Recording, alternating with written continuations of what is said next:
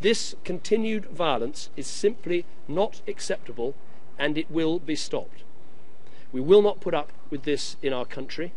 We will not allow a culture of fear to exist on our streets. Let me be clear.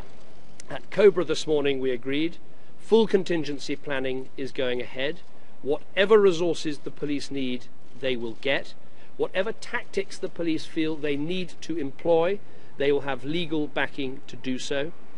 What, we will do whatever is necessary to restore law and order onto our streets. Every contingency is being looked at. Nothing is off the table.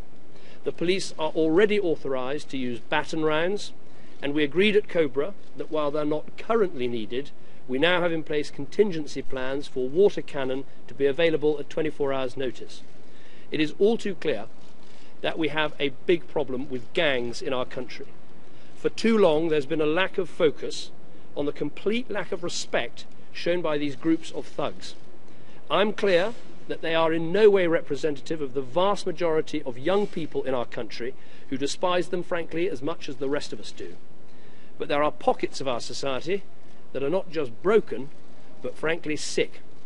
When we see children as young as 12 and 13 looting and laughing, when we see the disgusting sight of an injured young man with people pretending to help him while they are robbing him, it is clear there are things that are badly wrong in our society. For me, the root cause of this mindless selfishness is the same thing that I have spoken about for years.